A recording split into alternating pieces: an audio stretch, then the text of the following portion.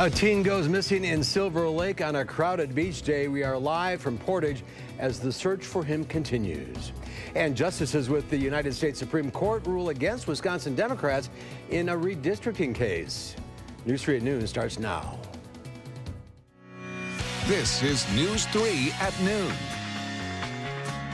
Good afternoon. I'm Mark Koehn. The search continues this afternoon for a teenager who went missing while swimming in Silver Lake last night. News 3's Madeline O'Neill joins us live from Portage now with the latest. Madeline.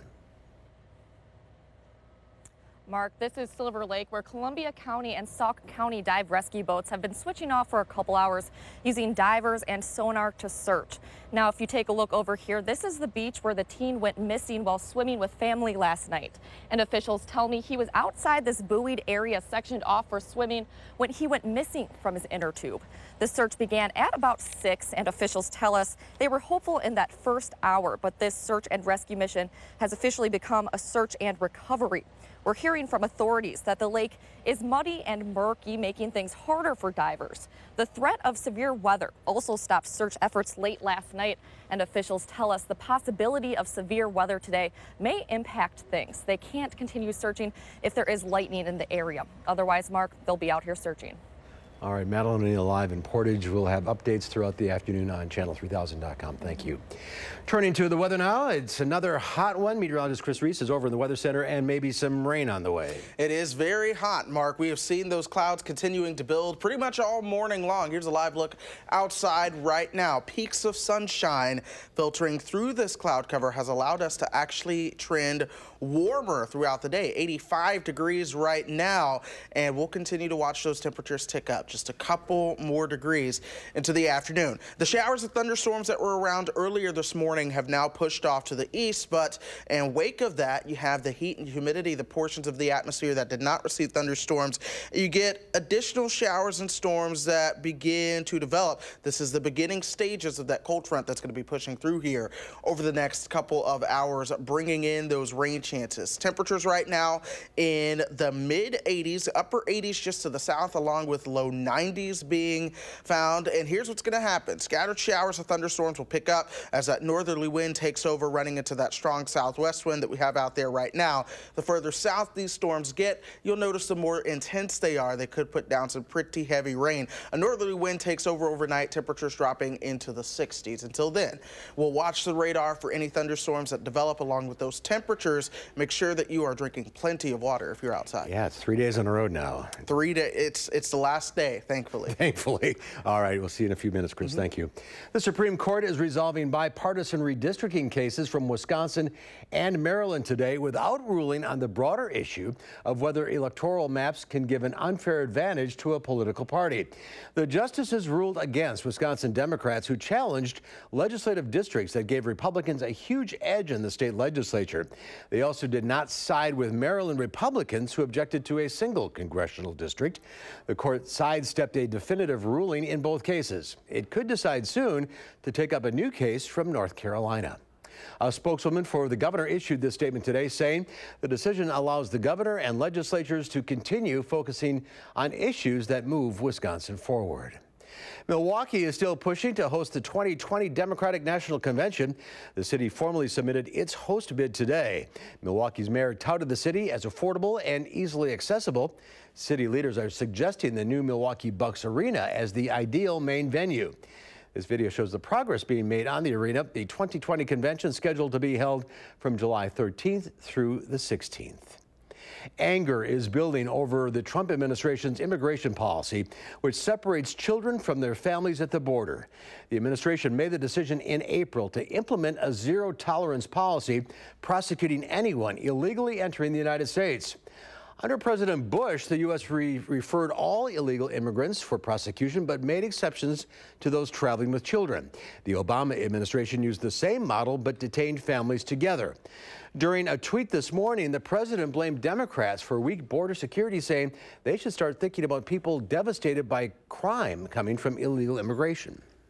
You're describing this as the choice between uh, open, open borders versus afflicting families, and that's not the choice at all. It is absolutely the laws of the land to do what we have to do. There are only two things you can do in this particular situation. You can release the entire family unit, or you can separate them. That's it. The president will meet with congressional Republicans to talk about potential immigration bills tomorrow. Several roads and highways in northern Wisconsin are closed this afternoon. Heavy rain washed them out over the weekend. Storms caused flash flooding from Siloam Springs to Drummond and Mason. That's about 45 minutes north of Hayward. Some areas reported more than 13 inches of rain. State troopers plan to target drunk drivers and underage drinkers attending a popular country music festival in the state. Country USA runs through the weekend in Oshkosh. Troopers and local police officers will be on every road in and out of the festival and say they will be writing tickets, not warnings for violations. Madison students on summer break can access free meals at a number of parks and schools across the city. The Madison School District partners with REAP Food Group over the summer to hand out meals and offer educational activities. The prog program kicks off today, hoping to feed the thousands of families that rely on free and reduced lunch throughout the school year. That program is available at Elver, Southdale, and Leopold Parks, plus at Centro Hispano and several other locations all summer long. You can go to mmsd.org slash food or text the word food to 877-877 to find a location near you. And speaking of food, Mr. Food is up next on News 3 at noon. Did you know that if you ate ramen noodles three times a day for an entire year, it would only cost you $250?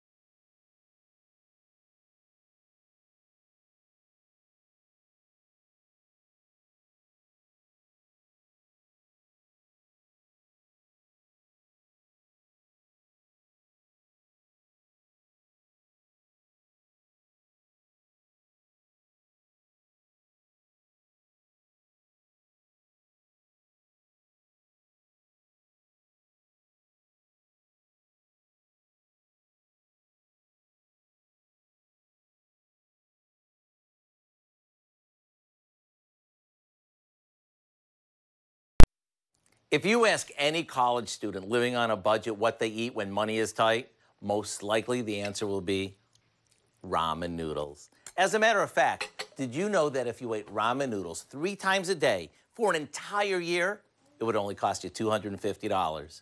And besides them being easy on our wallets, ramen noodles are becoming very trendy. So let me show you how to beef them up. We start by adding to a bowl of beef broth some soy sauce, a bit of honey, a decent amount of rice wine vinegar, sesame oil, brown sugar, chopped garlic, and some cornstarch. We give this a mix and set it aside. Then we saute some broccoli and onions in sesame oil until they're tender. To that, we add some strips of top ground beef and let it cook for a few minutes. Meanwhile, we boil a couple of packages of ramen noodles, discarding the seasoning packets. All that's left to do is add our seasoned broth to the skillet, let it thicken, and once it does, stir in our noodles. If you didn't know otherwise, you'd probably think this was from some fancy Asian restaurant. After all, the veggies are crisp, the beef is super tender, and the noodles are cooked to perfection. To get the recipe for what we call beef and broccoli noodle toss, all you have to do is visit our website. I'm Howard with Kelly in the Mr. Food Test Kitchen, where today we found a noodleicious way for you to say, ooh, it's so good. That's Mm-hmm. a lot of noodles. Thank you, Howard. Still to come on News Here at Noon. Linda Bartz from the Bruce Company joins us to answer your plant and garden questions. I'll let you know when to call in. Plus, you may not need to water your garden this evening. Rain is possible in southern Wisconsin. Chris Reese has our first alert forecast after the break. Beat the heat.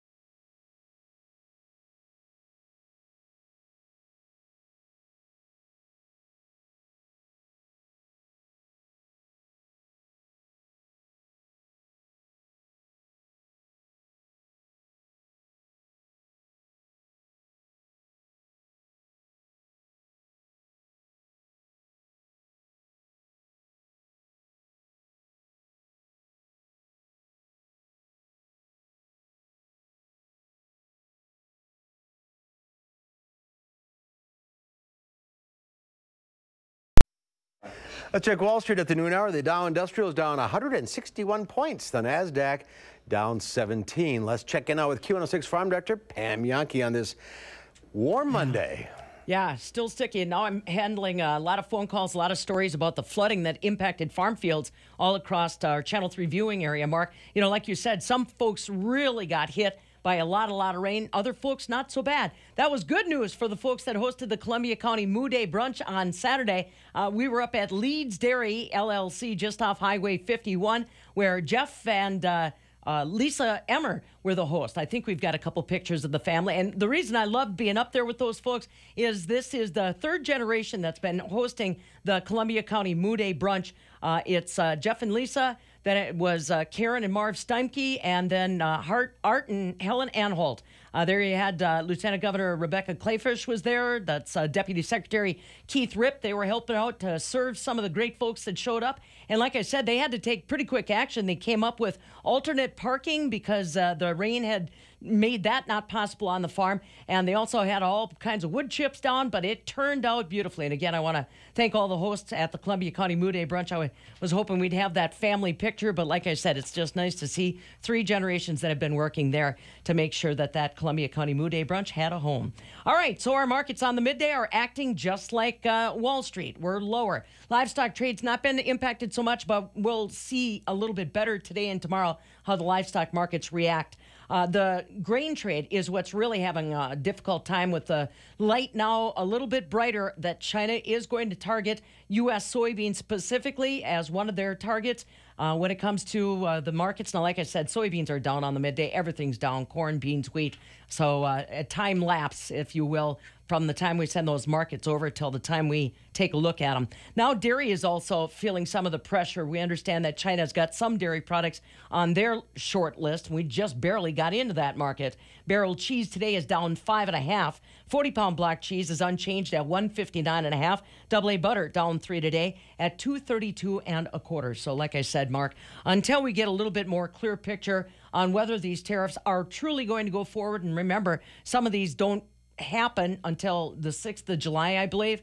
But the market is still very anxious. That's why Wall Street's acting the way they are. Me, I'm just anxious to see if we are going to get more of that rain. Man, oh man, like I said, a lot of farmers that have waterlogged fields they're going to have to monitor now for the next 48 hours or so. Yeah, it's the last thing we need, but apparently some is on the way. We'll see you later, Pam. Right. And yep. Chris is here now with the specifics of the forecast. That's right. Now, at least this rain will cool us off. That is Some the good, good news. news. and it should target the southern half of Wisconsin this time as opposed to the northern half that we've experienced all weekend. Speaking of the weekend, highs yesterday were quite warm. I have to point out La Crosse, Wisconsin received a high of 98 degrees. They were two degrees away from 100, but change is on the way. We are tracking the cold front into town already. Temperatures 10 degrees colder just to the north. Check out Wautoma right now, 10 degrees colder. La Crosse, 8 degrees colder than they were just 24 hours ago. Madison, 2 degrees colder than 24 hours ago. We'll continue to track the cold front all the way down to the south. That's responsible for the cloud cover that we're seeing on Skycam right now. The rain showers have not yet developed from this one. We are still pretty steamy out there. 85 degrees right now, the dew point 73, so it's still very muggy, very soupy as you step outside. 90 the temperature in Janesville right now, 88 as you work your way over towards Monroe. You factor in the humidity, it feels like 92 here in town. In Janesville, it feels like 98, same for Watertown. 97 out towards Platteville. So we are all feeling well above the actual posted temperature. Into the afternoon, we'll likely feel like 98. But watch how things really begin to cool off overnight and towards tomorrow. Feeling like 64, the actual air temperature at that time will also be 64 degrees. We have have a strong southwesterly wind right now. Check out just to the north, you have a northerly wind coming in with that. This boundary is the cold front that is pushing on in. So eventually we will get in on a northerly wind into the afternoon and evening. This region is also where we saw the showers and thunderstorms earlier today. They dissipated. The southern half of Wisconsin has the unstable air. You already have at least a few showers and thunderstorms starting to develop as it runs into the southern part of the state. That's also where we do have the margin marginal risk for some strong severe thunderstorms that could put in some damaging winds and a lot of water. As we wait for that trigger to arrive, we will watch rain chances that pop up overnight and through Tuesday morning. This front will sag to the south. The further south it gets, the stronger those showers and thunderstorms will be. Eventually, we'll be stuck with cloud cover and temperatures in the 60s pretty much through Tuesday and parts of Wednesday as well. Speaking of how those showers and thunderstorms will intensify as they work their way to the south, those who get under the most intense showers and thunderstorms will be at the greatest risk of seeing some truly heavy rain, potentially a couple of inches of it. With all the moisture that we have in the atmosphere, it won't take a lot to just rain out all that is there. 75 your high on Tuesday, Wednesday 76 more sunshine into the picture. Those 70s last through Thursday and Friday. By Saturday and Sunday, we start to get more humidity. We also start to add more rain chances back into the picture. 80s return by the end of the weekend as well. Monday, Tuesday, and Wednesday next week, we are humid again. Temperatures are in the 80s. However, I will say this. The forecast is ever evolving. We'll keep a close eye Mm-hmm. on that. Latest forecast model showing a system coming through that would actually keep us on the colder side of those rain chances, temperatures staying in the 60s. So That would be nice. We will see if that happens. As for now, we're going to stick with the warm forecast, but it could be changing in coming days. All right, well, summer's here. Yes, it is. All right, thank you, Chris. No There's problem. more to come on News 3 at noon. I'm next, Linda Barch with the Bruce Company is here to answer your plant and garden questions. 270-9933 is the number to call. We'll get to your questions right after this.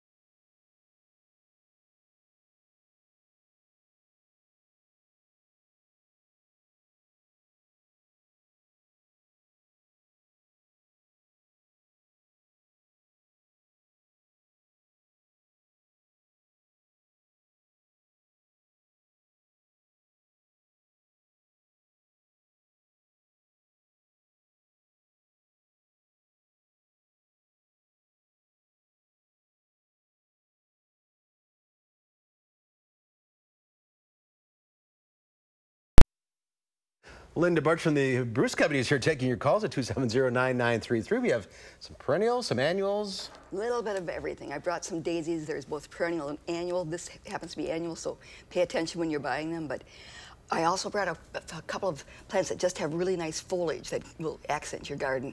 Hakonechloa up front here, the, this golden one, and then mm-hmm. there's artemisia, silver mound. So that is going to put on a show all the time. And of course, the dahlia back here. If you deadhead that, you'll get lots of flowers still coming on that all summer long. Beautiful stuff. All right, let's get to the phones. Oh, everybody's everybody's waiting here.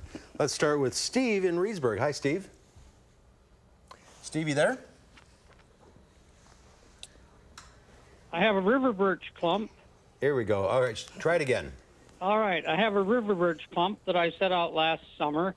Uh, it's a big one, about eight feet tall. Okay. Did real well last summer, and this spring it leafed out kind of late, but the leaves are beautiful now, about two thirds of the way up. The upper third of that, there are buds on it, but absolutely no leaves. Do I cut that? Do I cut that off, or do I hope maybe next year the leaves fill out?